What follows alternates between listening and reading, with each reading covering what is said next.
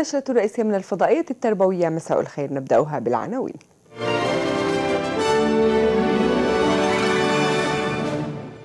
وزير التربية يستلم الدراسة التفصيلية الهندسية المعمارية لترميم وتأهيل مدرسة الفيحاء الأثرية.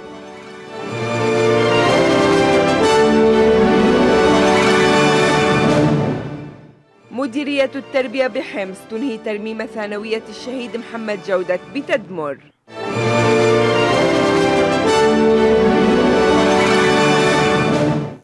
من العناوين إلى التفاصيل. مساء الخير. أصدرت وزارة التربية العددين الجديدين من مجلة المعلم العربي التي تعد من أبرز المجلات التربوية على المستوى العربي. وزير التربية عماد موفق العزب أكد أن مجلة المعلم العربي مجلة عريقة وقيمة على مستوى سوريا لا سيما لا سيما بالأبحاث الجديدة التي تقدمها وتطال كل شرائح وفئات المجتمع متمنيا من القائمين عليها العمل من أجل وصولها إلى جميع الشرائح المستهدفة.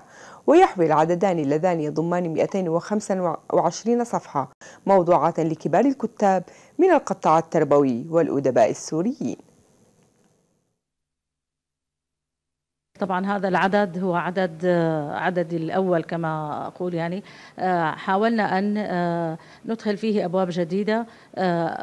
تعددت المحاور بين الأدبي والثقافي والبيئي والتعليمي ورصدت حالات المتميزين في سوريا حصرا سلطنا الضوء على إبداعات الطلاب سلطنا الضوء على المتميزين سلطنا الضوء على المواضيع الهامة التي تخص المعلم. إضافة إلى أننا اعتمدنا تقسيم المجلة إلى عدة محاور. وفي نهاية كل محور كنا نضع بابا خاصا في التعريف بالأعلام السابقين واللاحقين. فخرجت المجلة بقالب متميز طبعا تميزت بالجودة إن شاء الله طبعا هذا سيحكم عليه الوسط التعليمي. إضافة إلى أنها طبعا غنية بجميع المجالات التربوية والثقافية والبيئية. وطبعا لم نترك أي باب حتى أننا أدخلنا بالعدد الجديد حيز خاص بالأطفال. استلم وزير التربية عماد موفق العزب الدراسة التفصيلية الهندسية المعمارية لترميم وتأهيل مدرسة الفيحاء التي تعرضت للحريق بعد تكليفه كلية العمارة مركز البارودي في جامعة دمشق بإنجازها. وزير التربية أثنى على الجهود المبذولة والتشاركية في العمل من قبل المعنيين لإنجاز الدراسة بالسرعة الممكنة رغم الظروف الحالية واتخاذ الإجراءات الاحترازية للتصدي لفيروس كورونا.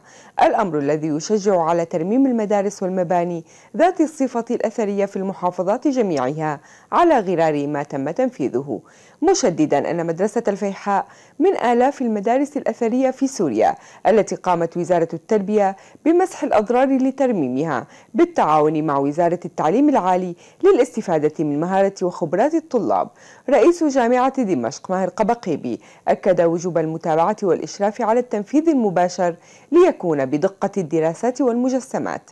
يذكر أن مدرسة الفيحاء تعرضت لحريق نتيجة ماس كهربائي نتيجة تماس كهربائي أدى إلى أضرار في السقف الجلموني في الشهر الأول من العام الحالي. أنهت مديرية التربية بحمص تأهيل وترميم ثانوية الشهيد محمد جودة العبد الله في مدينة تدمر والتي خربها تنظيم داعش الإرهابي قبل اندحاره من المنطقة بفضل جو بطولات بواسل الجيش العربي السوري. مدير تربية حمص أحمد إبراهيم أوضح أن تكلفة إعادة ترميم المدرسة بلغت نحو 34 مليون ليرة سورية حيث تم تجهيز 17 غرفة صفية مشيرا إلى أنه أصبح هناك ثلاث مدارس جاهزة بالمدينة للتعليم الأساسي والثانوي. كما تسعى المديرية حاليا إلى إعادة تأهيل عدد من المدارس الأخرى مع ازدياد عودة الأهالي إلى منازلهم. الكوادر التدريسية في اللاذقية مستمرة بعمليات تصحيح أوراق شهادتي التعليم الأساسي والثانوية العامة مع توخي الدقة والحذر لضمان جهود الطلاب.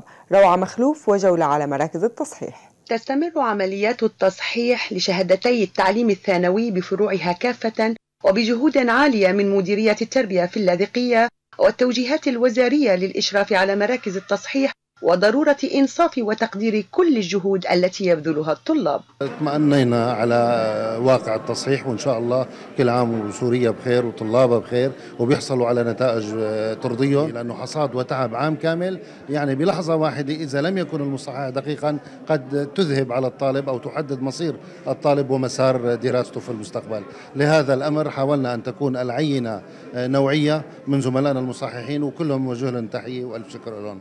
جرت الجولة التي قام بها السيد مدير التربية عمران أبو خليل ومشرفون من وزارة التربية على عدة مراكز للتصحيح لمادتي اللغة العربية والفيزياء والكيمياء للتعليم الثانوي وفق مراعاة لشروط السلامة العامة لتفادي فيروس كورونا. طبعا هي العملية كتير دقيقة لأنه وفيها تعب لأنه أو, أو يعني لصالح لصالح الطالب لأنه الأسئلة عم تتوزع على مجموعات.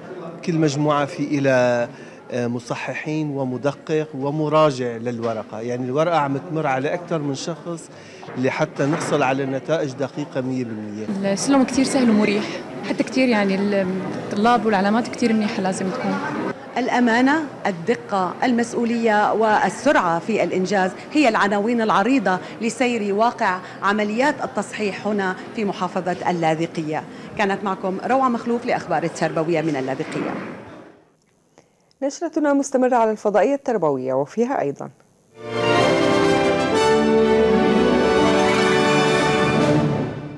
فرع جامعة الفرات بالحسكة يصدر نتائج اختبارات المقدرة اللغوية للقيد بدرجة الماجستير.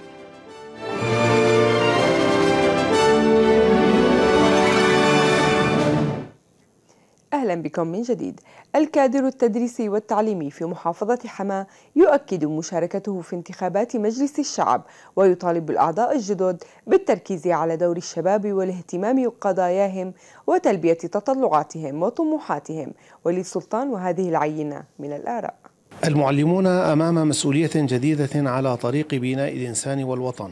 وهذه المسؤولية تتمثل بالمشاركة الفاعلة في الانتخابات التشريعية ونشر الوعي بضرورة الاختيار للمرشح الأكفأ. الفضائية التربوية السورية رصدت آراء عدد من المعلمين وجاءت بالتقرير الآتي: نحن كتربويين ومؤهلين للتربوي وبحقنا الانتخابات لمجلس الشعب إن شاء الله سيكون اختيارنا لهم للمج... للإنسان الاكفأ اللي بيحسن بيحمل همومنا وبيوصلها للأعلى وبيحل لنا إياها إن شاء الله. نحن بنتمنى إنه يكون يتناسب رواتبنا مع مستوى المعيشة ينظروا لنا إنه كصوت كلياتنا نكون صوت واحد إنه بتمنى منهم إنه دائما نكون إيد وحدة كلياتنا. هذا وأعرب الجميع على أمل مشاركة المواطنين بممارسة حقهم الانتخابي بوعي وشفافية وأن يحفظ أعضاء مجلس الشعب الأمانة والثقة التي منحت لهم.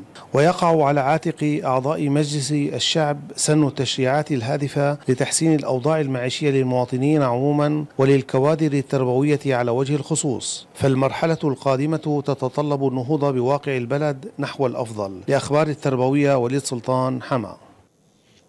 أصدر فرع جامعة الفرات في الحسكة نتائج اختبارات المقدرة اللغوية للقيد بدرجة الماجستير التي جرت في العاشر من الشهر الجاري بكلية الآداب والعلوم الإنسانية. رئيس فرع الجامعة الدكتور نجم الحميدي أوضح أن نسبة النجاح بلغت 23% من عدد المتقدمين الإجمالي والبالغ 196 96 طالبا وطالبة من كل الاختصاصات.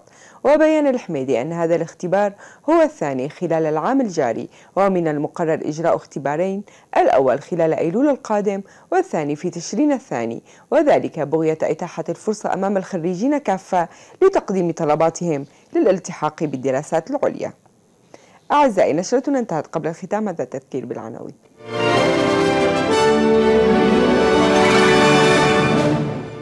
وزير التربية يستلم الدراسة التفصيلية الهندسية المعمارية لترميم وتأهيل مدرسة الفيحاء الأثرية.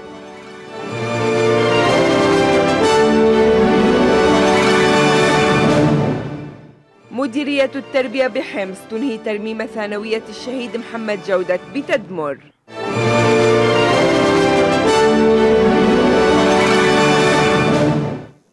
لمزيد من الأخبار. زوروا صفحة الفضائية التربوية على الفيسبوك. دمتم بأمان الله. إلى اللقاء.